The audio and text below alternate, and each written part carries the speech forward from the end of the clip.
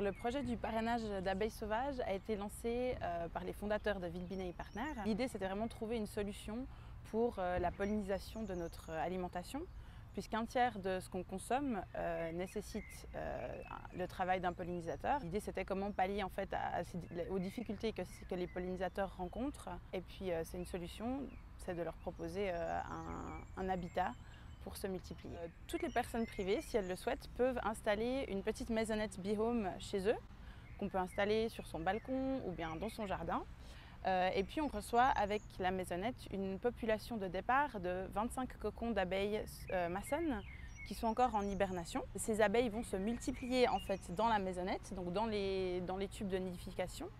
Et puis euh, les parrains peuvent nous renvoyer en fait cette partie de la maisonnette, la boîte intérieure, pour que nous nous déparasitions les nouveaux cocons qui sont créés, que nous les gardions en hibernation pour ensuite les mettre à disposition d'agriculteurs pour la pollinisation de leurs vergers le printemps suivant. L'an dernier, euh, en automne, il y a environ 20 000 personnes qui nous ont renvoyé euh, la partie intérieure de leur maisonnette, donc qui sont des, parrains actifs.